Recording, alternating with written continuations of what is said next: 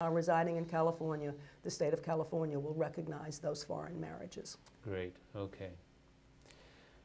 Now, by the way, folks, we're, we're laying groundwork, so uh, bear with us a little bit as we uh, go through this. Uh, so the next question is, what is the significance of the single economic unit concept for married couples and the 1930 Supreme Court decision Poe versus Seaborn? Well, a lot of people think that mar the marriage unit is a single economic unit, that has always been a single economic unit. The interesting thing is, for tax purposes, it has not been. When we enacted the modern income tax in 1913, uh, the concept was individual taxation. So a husband was one individual taxpayer and the wife was a separate individual taxpayer. Now, in truth, most married women did not have income in those days. Right. Um, but it was possible. And certainly under California law, which is a community property state, yes. as well as Oregon and the and, and, and Washington. Washington. Sorry, not Oregon. Yes. Washington uh, and the other community property states. Wives, in effect, did own 50% of all of the income that was earned by the husband or was earned on the community property. Uh, because of progressive rates, you would pay a much lower income tax if you could split the couple's income into 50% reported by the husband and 50% reported by the wife. In effect, you're taking uh, income from the unit that would be taxed at the highest bracket and you're moving it over and being taxed at the low bracket, the starting bracket uh, of, of, a separate taxpayer. Uh, and so couples in community property states began to take the position that the husband should only report 50% of the income and the wife should only report 50% of the income. There was a fight back and forth with the, with the, the, the Justice Department uh, and the Treasury on this. And finally, they actually decided this is the tax authorities and the taxpayers, uh, taxpayers' representatives, decided they would file a test case for every state that was a community property state, and they would let the courts decide whether or not married couples in community property states could split income. The first case to hit the Supreme Court was Poe versus Seaborn. It was a, uh, a Washington community property uh, state case, and the court ruled that uh, because community property law vests the income in each of the spouses the moment it comes into existence, it is always owned 50% by husband and 50% by wife.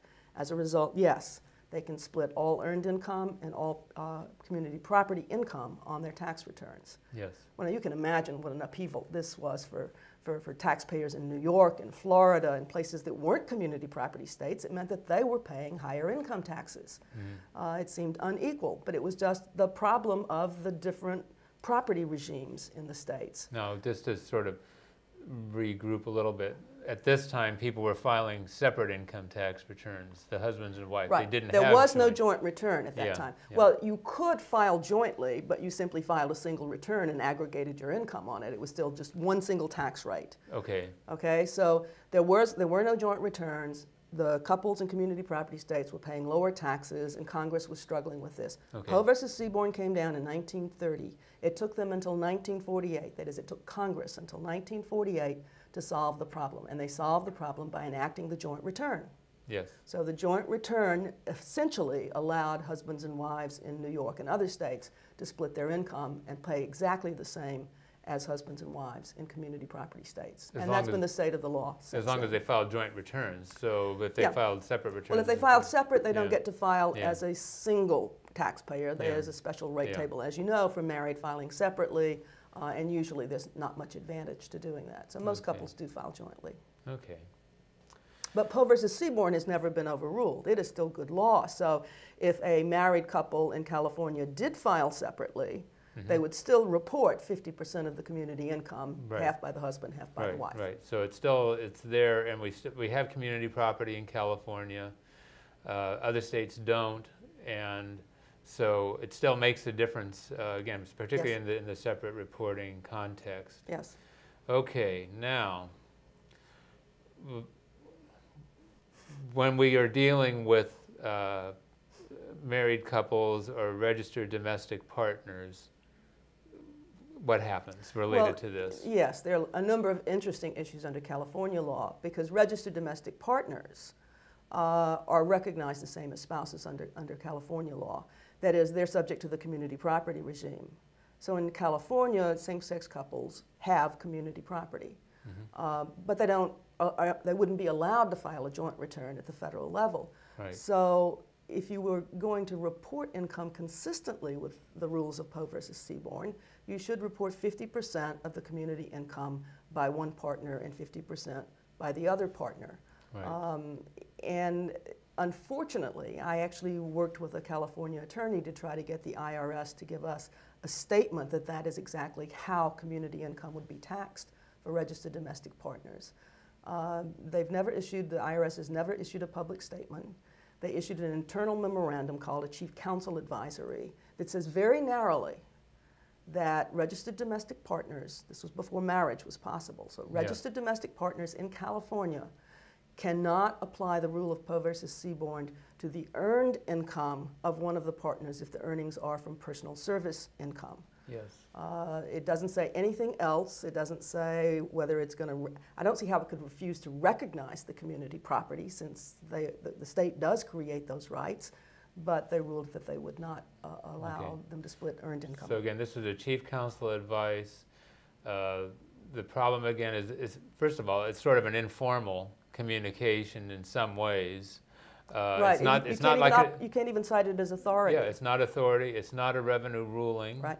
It's not a regulation. Right. This is just sort of like, uh, again, it's sort of an informal piece of advice that was put out, but it's the only thing that's out there. Right now, it's the only thing that's and, out there. And that's the frustrating uh, part of all this because as tax practitioners, uh, people who are preparing income tax returns, you know, I mean, you sort of hang your hat on whatever guidance that you can get.